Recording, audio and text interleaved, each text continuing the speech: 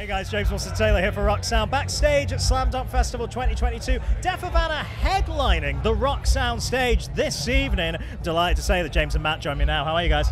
Not bad. How are you? Not too bad, man. Not too bad. Yeah, good, good. Thank you. Thanks for having us. Of course. Actually. It's nice to be here, man. It's nice. We're saying this to everyone, really. What a lovely start after two years of weird festivals and, and lack thereof to finally be back. This is lovely. Mate, it's lovely. It's lo- I mean, yeah, for us because we literally did nothing for two years. Yeah, so yeah, yeah, of course. For us, it's great. Yeah, no. Um, it's just it's been really nice having a little wander around and seeing how busy, ev- like every single stage for everyone since since midday, really. Yeah. So it's wicked. Uh, I think it's been missed by a lot of people, really. It really has. I mean, I mean, it's the fact as well. We were saying before, weren't we, when I think the album got announced and stuff. Slam Dunk's been very good to you boys over the years as well. A lot of nice memories. So I feel like Definitely, this man. for a starting of the festival season can't do any better, really, can you? I know, hundred percent. Like, it's always just so many mates and so yeah, like you said, it's been very good to us over the years, and I can't wait to play. To be honest, Yeah.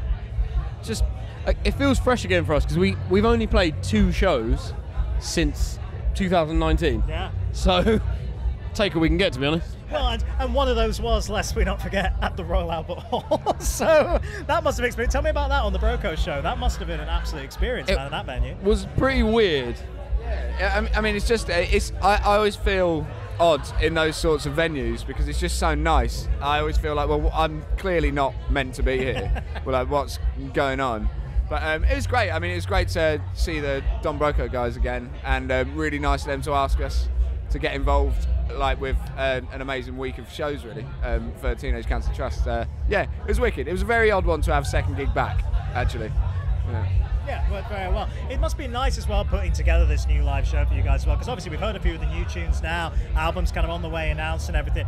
Feels like a new era and stuff. How has it been actually putting together a new live show for Deaf Havana like this?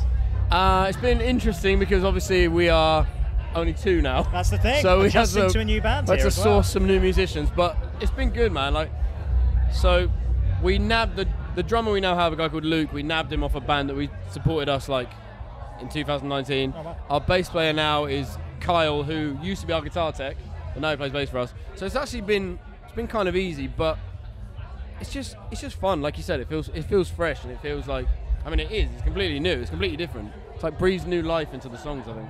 Yeah, I mean the new songs feel fresh as well. I've told you this before, boys. It's a really, really interesting album, man. That you Thanks, guys put together. It's really exciting to see the fans finally getting to hear bits and pieces of it. And let's talk about, I guess, the latest taster they've had, which is on the Wire. Tell me a little bit about that track in particular, when that kind of came to be.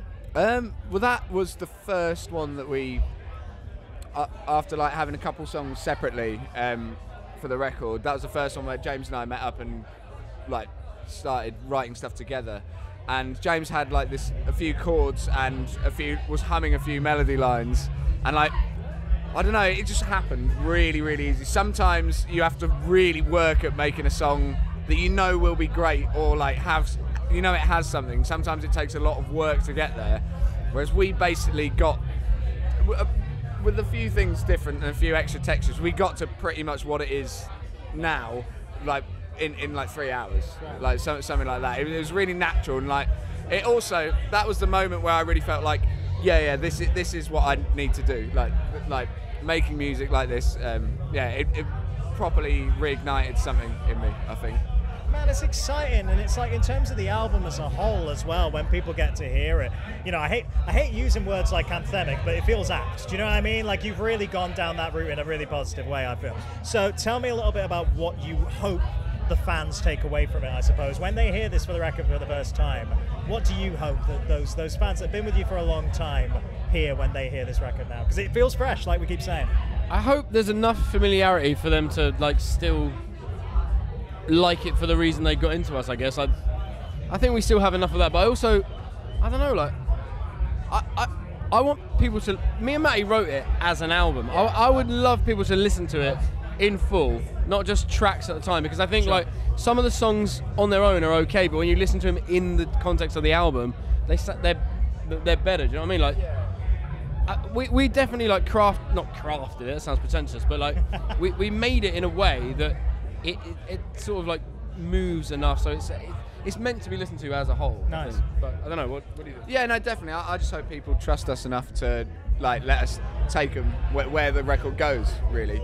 Um, and, and I mean, I'm just so happy that it's coming out. To be honest, like it's, it's pretty mad. It looked for a long time like we'd never be in this situation again. So like I'm just really really excited for people to hear, and yeah, just like see what people think. I guess of um, some of the bit more out there moments, things like that. I guess why moments like this are going to be so celebratory as well, because you know you've been very frank with us all in the past. You know you didn't think necessarily that this would be a band that's still going at this point. They are. It's been a very very positive reception you two, and now you're going to go out and smash it on a big stage. It's a lovely feeling. Hope so. Seems like you're in a good place at the minute, guys. Is lovely, really lovely. It's cool, man. Like, it's, I think we're we're definitely personally both in different places now, which is a lot better.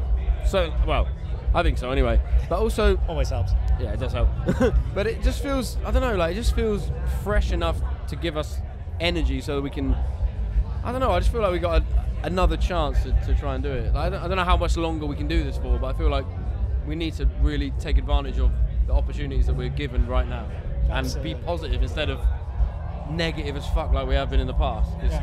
Uh, we're both guilty of it. Like so, so many opportunities have presented themselves to us in the past, and we have just just been negative about it. And I think I want to try and be a little bit more positive if I can without sounding cheesy. No, I think we've all felt that a bit after the last couple of years in every single way, right? Everyone wants to be a bit more positive now, and hey, what a great way to start than at festival season once again. It's nice to see you boys back here, man. we'll see you on the tour later this year, Fuck and uh, I'm sure we'll talk to you around the album and stuff as well. But in the meantime, enjoy today, boys. It's gonna be a Thank fun you one. very much, mate. Good to see you, Thank you all right? very much. Death You of Anna, too. everybody.